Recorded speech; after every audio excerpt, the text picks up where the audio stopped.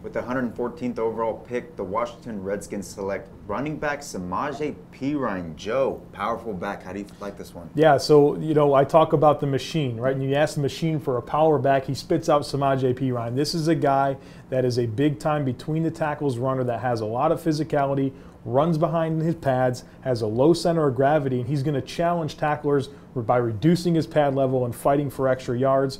Uh, he's a guy that doesn't have the elusive traits to really complement the power skills, but he is a really nice pass protector, one of the best in the class. So that's where you get that three down value. And this is a guy that's going to force defenders to make business decisions if they want to tackle him. Yeah, this is like tackling a fire hydrant. Yeah. Uh, very low build to the ground, 230 plus.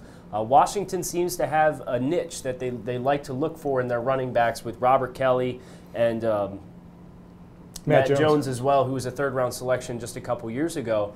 Uh, reportedly, he's on the block. Uh, Perine, another of these very physical between the tackle style runners.